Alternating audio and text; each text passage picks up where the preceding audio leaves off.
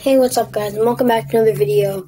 Um, so before we get into today's video topic, um, I hope you like, I hope you guys liked yesterday's video. I hope you guys, or I'm, I'm sure, I hope some of you guys checked out the stuff I put in the links to the description.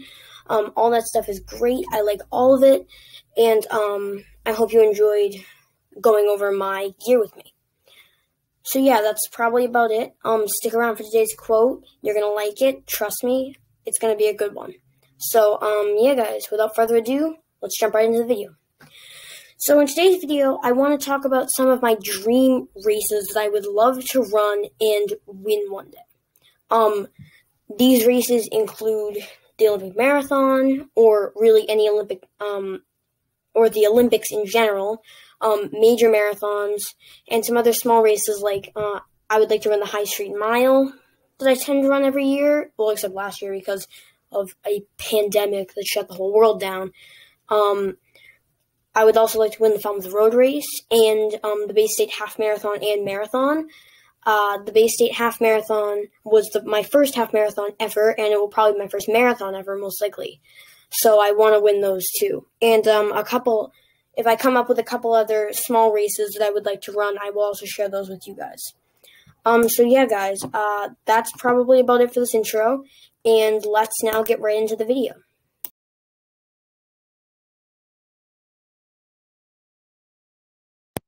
Alright guys, so in this first section of the video, I would like to talk about making the Olympic team in my dream races, which are the 5,000, either the 5,000, the 10,000, or the marathon, and um, winning one of them. The one I really want to win is the marathon. Um, I've had a lot. There's been a lot of great athletes who won the marathon, and you haven't had really a U.S. male athlete win it for a long time. So I want to be, um, I want to inspire the next generation, and I want to be one of the few male to ever win the Olympic marathon. Um, so yeah, um, some of my favorite athletes have come to win the Olympic marathon to come to from the Olympic marathon, such as Eliud Kipchoge. Um, he he won the Olympic marathon Rio 2016. So um, yeah, I really want to make the team one day and win the marathon, and uh, inspire the next generation, and with a gold medal around my neck. Uh, how I plan to get there? I plan to get there by basically training hard um, having some good seasons throughout even high school and college, and maybe even making it pro. Um, making it pro means that I would have, like, I would get sponsored to run, which I love to do. So it'd be like the it'd be the greatest job ever, and I could still do YouTubing along with that. So um, yeah, I would. I'm definitely gonna work hard. Uh, I hope to have some good high school and college seasons to make it here. And um, yeah, so that's pretty much it for the marathon. And if I don't make the marathon, let's talk about my next two events that I would hope to make either the 5,000 or the 10,000 meters on the track. Um, so the 5,000 or 10,000 is also a very difficult event to make. You have some really good U.S. runners going up against you in these in these disciplines and events. Uh, they're both very grueling events as well. They can make you or break you. Uh, I mean, 25 laps around the track for a 10,000 is not, sometimes isn't the most enjoyable thing, but when you win the gold, it, it evens out to be pretty enjoyable after. So, yeah, um, that's, that's kind of my thoughts. Again, if I don't make the marathon team, I want to, I'll work hard. Most of my high school and college season are going to be on the track. I don't think my coaches will even allow me to run a ton of marathons or half marathons because I'll be training for probably the 5,000, maybe the 10,000 if I get into college. But a lot of times they don't even have the 10,000. They might have, they have like 10,000 cross country races, which I also hope um, to win those too. But they don't have a ton of like, they don't have like a ton of, um, sorry, they don't have a ton of 10Ks. Uh, really, the only time you're going to find the 10Ks on the roads. So, or no, sorry, on the on cross country. You will find it on the roads, but I won't run a ton of road running in college. So yeah, um, that's probably it for that. And uh, yeah, guys, so that's probably it for Olympic races. And let's now move on to the next block.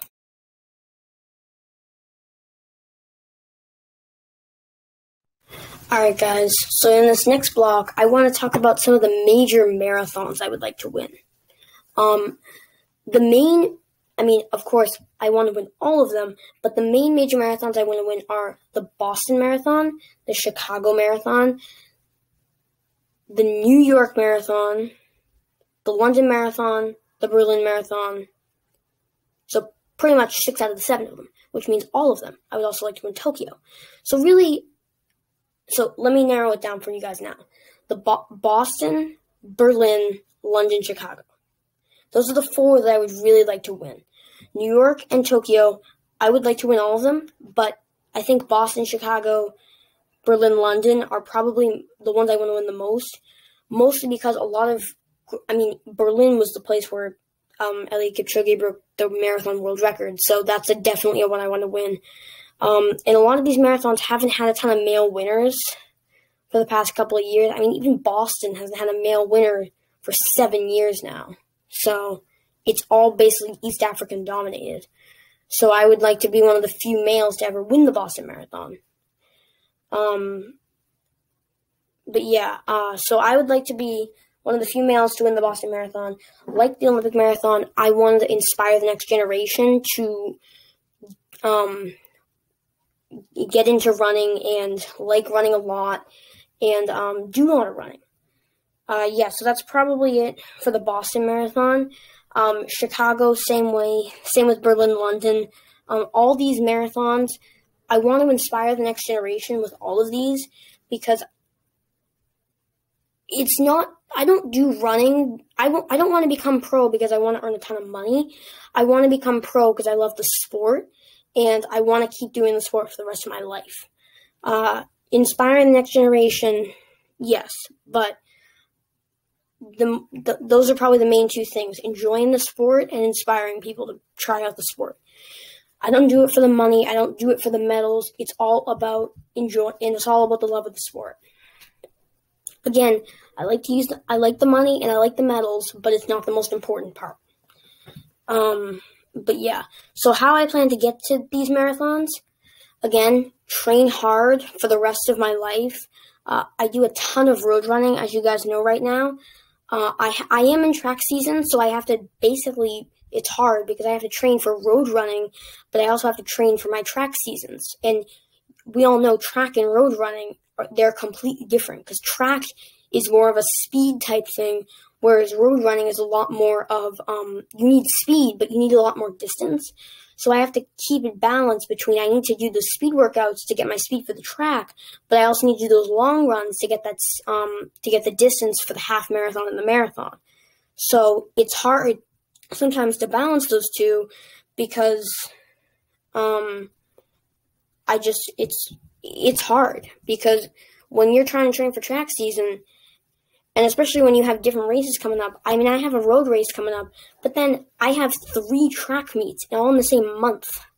Uh, in Ju- this this month in Ju- this coming month in July, so it's gonna it's really hard. And then once again in October, I have more road races. So once it gets into the fall, it's all about road racing and then cross country.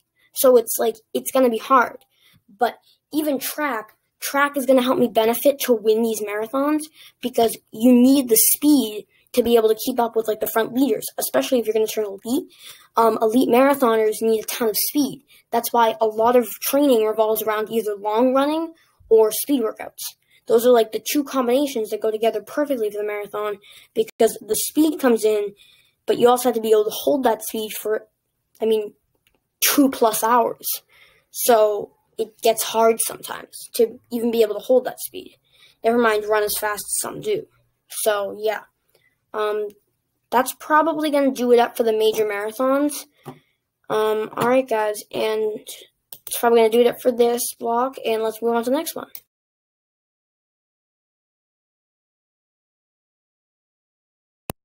Alright guys, and in this next block, I'm going to be talking about high school and college races I would like to run and um, potentially win, and hopefully win. Um, some of these races uh, include Footlocker, which I'm sure a lot of you know is the biggest high school cross country um, race uh, right now, probably ever. um, the NCAA track and field championships, which is a college thing. That's a um, championship for track. They also have the um, the high school national track and field championships, and they all, which is like basically the NCAA championships, but it's not college; it's a high school thing. And then they have the college and high school nationals. Both have the same thing. So yeah, these are all the races I want to potentially, w- hopefully, win in high school and qual- college, and I will be talking about all of them. Um, so first, let's start off with Footlocker. So Footlocker, as I just mentioned, is probably the biggest high school cross country race right now. Um, whether you're freshman, sophomore, junior, senior, you're all put together in um, and you all you're all put together in the race, and you all want to try to make the final. And then when you're in the final, all these high school athletes face off to win the gold. Um, but yeah, a lot of great athletes have been produced and have won Footlocker. These athletes include pro athletes, and some even became Olympians. Uh, some of the best in the world actually won this. Gold medal winners. So yeah, um, those are. That's pretty much Footlocker. Um, but yeah, if I could win Footlocker, if I could win Footlocker, that'd be like a dream come true because Footlocker is not an easy thing to win. Even for the seniors, the seniors still have to work really hard to win Footlocker.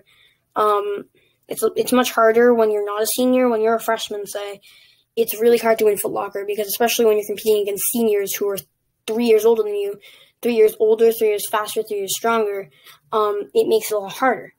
So yeah, that's pretty much um Footlocker. I like every race I've told you about in this video. I want to work really hard to get to this foot to get this moment. Um, Footlocker is just it would be a dream come true to be able to actually even run Footlocker. Never mind win it. I would love to win it, but I would at least want to run it. It's a great race, and um, it's a very competitive race, and I would love to win. So yeah, that's pretty much Footlocker for me. Um, the cross country high school nationals. So let me give you a little background on this one. This one is not as big as Footlocker, but it is still pretty big. Um, it's like the level down from Footlocker, basically. Footlocker is like here, whereas the um the cross country high school nationals are probably like here. So it it compares because the this is cross country high school cross country nationals. This is Footlocker. It's like it's just a level above, basically. So yeah, um, high, high school national, high cross country high school nationals. I would also like to win. Um, just like Footlocker, I want to work really hard to win these. I want to inspire other high school athletes uh, as they make their journey into high school, uh, run track and cross country, and um, maybe even win this.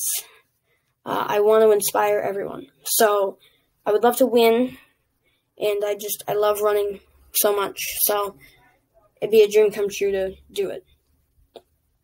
Um, next one, high school track and field championships. Um, so this one is we're switching over to the track now.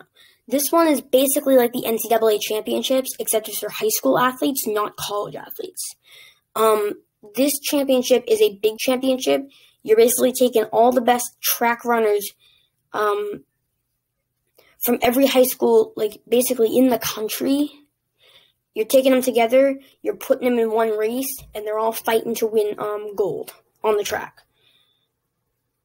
Um, my prime event, I would love to, I would love to get into any event, to be honest. But the event I would really like to get into is um, the 15. The 15 is like a really good event for me. I really do. I don't know if they do the 5,000 in high school. I can't remember. I would love to get into the 5,000 if they do, but uh, the 15 would be like an ideal event for me because Again, the 5000 is better, but the 15s is still a really good event for me. So yeah, I would love to win high school championships. Work hard like all the others. Um, we'll work hard for years. Uh, won't give up.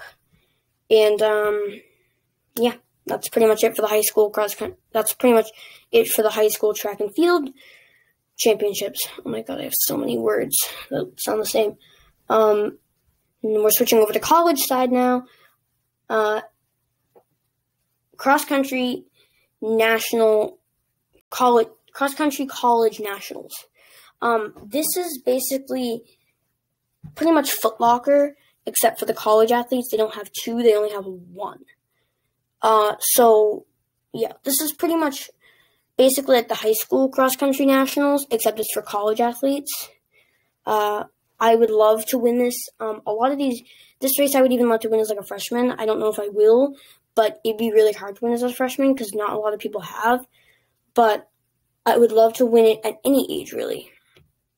Winning one of these events would mean so much to me, and um, I'm going to work really hard to get there. I'm going to work really hard to uh, um, finally do. I want to hope to do win some of these, and uh, if I do, it'll just be it'll be so cool. It'll be so cool. Um, NCAA Track and Field Championships. As I said, this is basically um, the high school track and field national championships, except it's the NCAA, which um, is for college athletes. Uh, this is once again a very competitive race. Um, you're taking really all the best colleges in the in the nation, bringing them all together, and they're all competing for the gold medal. Uh, they all try to make the finals and compete for the gold medal. So yeah, I would definitely love to win this race as well. It would be just it would be a dream come true to win all these races because they're all so competitive and they're all so hard to win that winning them would just be basically the one of the, some of the greatest moments of my life. Uh, I, w- I will work hard to get to all of these because to accomplish them, it's not going to be easy. But as um, a wise man once said, I didn't tell you it was going to be easy, but I did tell you it was going to be worth it, and it will be worth it if I do finally win. And if I don't, it'll still be worth it because I'll still know I'm in great shape. I still know I'm I um I will win races one day, and I still know that I can um win a real win really anything I put my mind to if I work hard for it.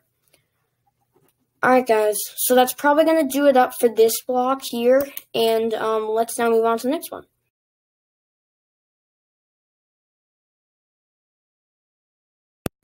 Alright guys, and in this last and final block of this video, uh, I'm just going to talk about a couple smaller races that I would love to win one day. Um, some of these races include the Falmouth Road, the Falmouth Road Race, which is a seven miler, um, the High Street Mile, which is a one miler up in Seabrook. I go on vacation there every single year, so I run the mile there. Uh, the Bay State Half Marathon and Marathon, and the Cheap Half Marathon and Marathon. Cheap is where I actually broke, or I think I broke the American record in uh, the half marathon in my division. Uh, that's nine to ten. That's ten year old boys half marathon for the for the American record. So yeah, um, let's talk. Let's get right into those races. Um, so for the Falmouth Road Race, I was going to run that race last year. I never ended up doing it because I think it I think it got canceled because of COVID. Um, but yeah, I would love to do this one. I don't know if I'm going to do it this year. I might do it next year. I might do it this year, but I don't know. Um, but yeah, so this one I really hope to win. It's once again, you don't think of it as a very competitive race. It is. You can run some pretty fast times. I mean, you can see people run some pretty fast times for these seven milers. So it's a pretty competitive race, and um, I I think I could win this one day, and I really do hope to win it one day. I will work hard. I will put my mind to it, and I will def and I think I can win it one day. Whether it takes me a lifetime or whether it I get it on the first try, um, I'm gonna win it one day, and I can pretty much assure myself that. Um, next one, Bay State Half Marathon and Marathon. Uh, so Bay State, once again, as I already mentioned, is the race where I ran my first half marathon. Uh, that half marathon was my best half marathon ever for a little while until I went to cheap. Obviously, everything changed after cheap. But, um, so yeah, I really do hope. I haven't run the marathon there yet because I'm not ready to run a marathon yet. But when I finally do, I want to win. I want to win both the half marathon and marathon. Like the Falmouth Road Race, I'm gonna work hard. I'm gonna put my mind to it, and I'm gonna just um, I I want to win. I want to win both of them one day, and I can pretty much, and I can, I think I can very much accomplish that. It's a very accomplishable goal, I would say, and uh, I really do think I can win it. So, yeah, guys, that's probably it for Bay State. the Bay State Half Marathon and Marathon. Uh, next one, High Street Mile. The High Street Mile, as I just said, you, it's up in Seabrook. I vacation there every single year up there, so that's what that's the only reason I actually run that. I probably wouldn't run it if I didn't vacation there. But uh, other than that, um, yeah, I've run some pretty fast times for that race. My times have definitely improved because I ha- I've had two full years to improve. Because this will be I didn't run it last year. Actually, no, I have three. I've had three years because I missed it the year before that because I we went the wrong way, and last year was COVID, so I didn't have it. So I missed it for two years, which means I've had a full three, either three or four years to get be- better at the mile, and I definitely have. Um, but I think I can definitely run a better time. Uh, I and I one day hope to win this if I set my mind to it. I think about it hard. I train hard for it, and I upgrade my speed on my mile. I definitely think I can um, do great things in this race, and I definitely think I can win it one day. Last and final race, the cheap half marathon and marathon. This is probably my the most decorated race for me right now, mostly because I broke I hopefully broke my American record. I don't know for sure, that's why I'm saying hopefully broke. But um yeah. So everything changed when I went to that race. Um that that was only my second half marathon um in, of my life. So yeah, um, how I want to win both, like Bay State, the half marathon and marathon. Uh, they're both um, a desire of mine to win. This is a very competitive race, and it can get really fast.